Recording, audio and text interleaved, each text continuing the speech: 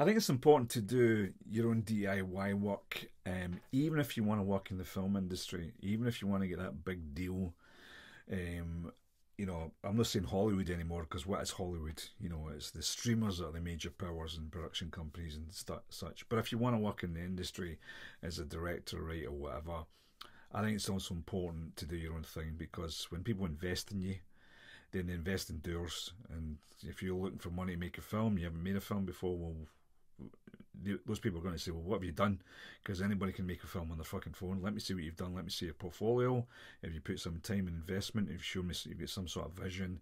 So you're going to have to do your own thing anyway, in most cases. It's important to do, even if you just don't want to do your life of DIY work. If you do want to work in the industry, I think it's important to use this technology today to learn. Obviously, you want to be a filmmaker, you can go and be a filmmaker, just fucking start doing it, even if it's for you know, as uh, to create showreels so you can show industry people, you know.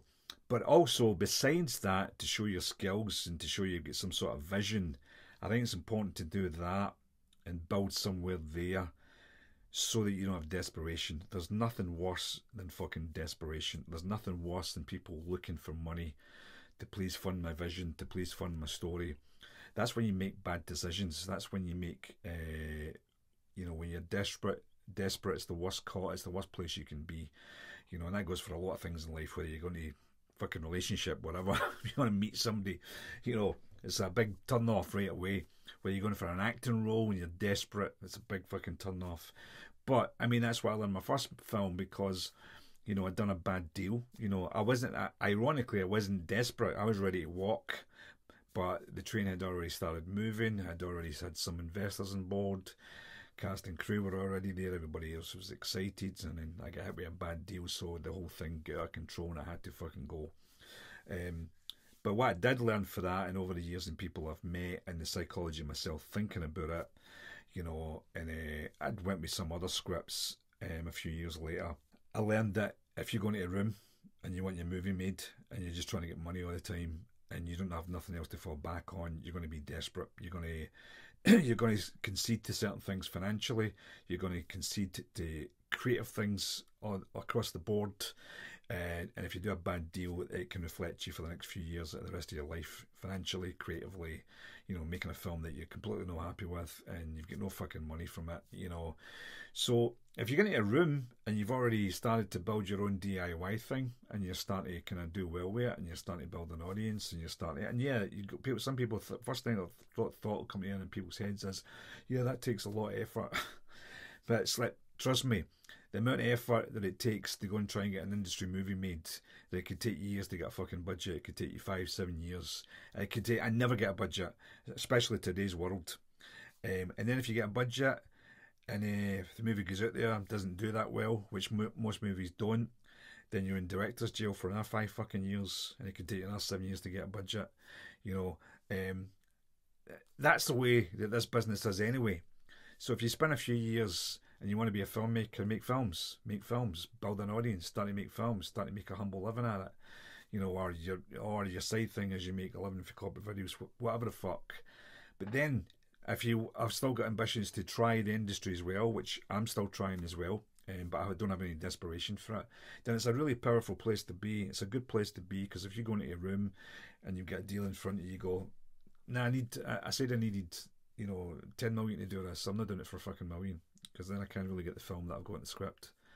But if you're desperate, you go, yeah, I'll do it for five hundred thousand, and I'll do it for fuck all money, and then you're not getting the movie you want. You don't, you, you, you commit a lot of time to it, and you know it just doesn't go anywhere. You know, so I think if you go into a room, you're already doing your own thing. You go, well, that wasn't an agreement. That's what we said here. Oh, I looked in the contract. I'm getting shafted here. That wasn't the agreement. Whatever. Do you know what? I'm going to go. I'm continuing to make my own films anyway. Don't fucking need you. It's a good place to be. It's a powerful place to be where you're not desperate.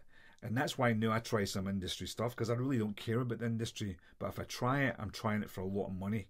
It's a little bit like the lottery. So I see some people once in a while, David, could you do this for 500,000? You know, says it's 15 million, whatever. No, bye. could you do this for that? No, I'm not desperate. I can make a fucking movie. I don't need your 500,000. You know, I'd rather make my fucking 20 grand movie and I'll probably be better because I'm controlling it.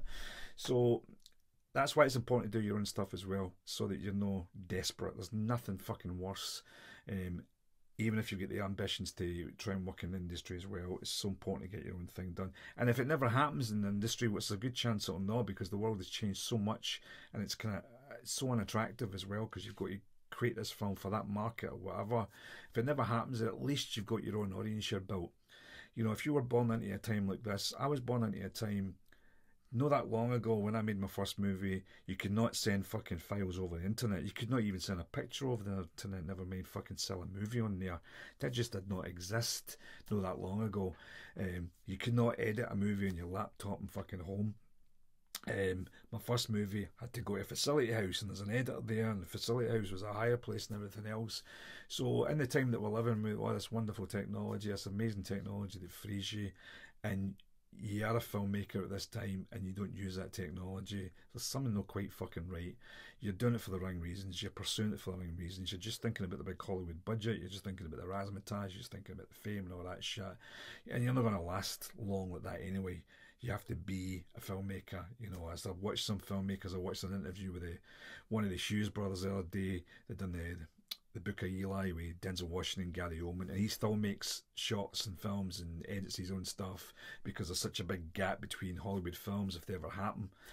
So anyway, but that's the main reason. Not just to learn your skills, not just to make films with no budgets, but so you're not desperate when you go in front of those fucking executives, those greedy fat fucking executives with cigars that want to shaft you in every fucking hole, you know which is fine. You get shafted, you know, in deals and money and creativity, but you have to know when to compromise and know know when to compromise. And if they're crossing the fucking line, you can go fuck you. I'm I'm going to go make Psycho Sex Dolls fucking four. Don't need this shit. Bye. See you later.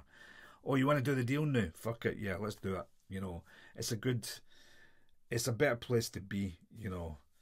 Anyway, thanks for watching. Uh, in the post production with Psycho Sex Dolls, a film that I made in November, just finishing it. If you're interested in seeing it, check out the Kickstarter where there's a pre-launch page you get to see it early or check out the website you know or if you just want to watch more videos please subscribe to this channel give it a like and give it a subscription uh, press the subscription button appreciate it uh, thanks a lot for watching cheers